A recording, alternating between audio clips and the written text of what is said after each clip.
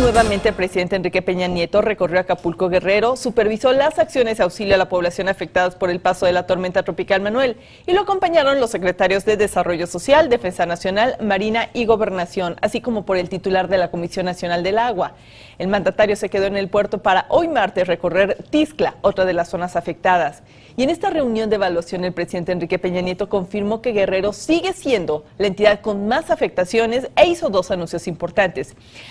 Primero, que es a través de la Secretaría de Gobernación, va a haber un grupo de funcionarios para que auxilien a los estados en la aplicación rápida y correcta de los recursos del Fonden. He instruido particularmente a la Secretaría de Gobernación para que designe funcionarios de esta área que auxilien a los gobiernos locales para una integración rápida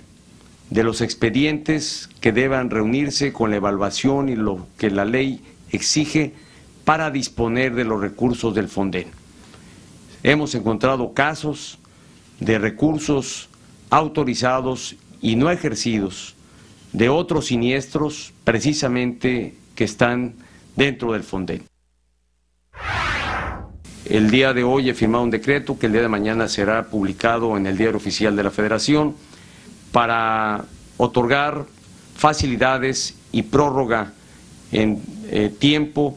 sobre todo para el cumplimiento de obligaciones fiscales que tienen contribuyentes individuales o negocios. Ante esta contingencia, estos los beneficios fiscales que considera este decreto permitirá darle a las familias afectadas y a los mexicanos en general pues mayor liquidez en este momento de contingencia.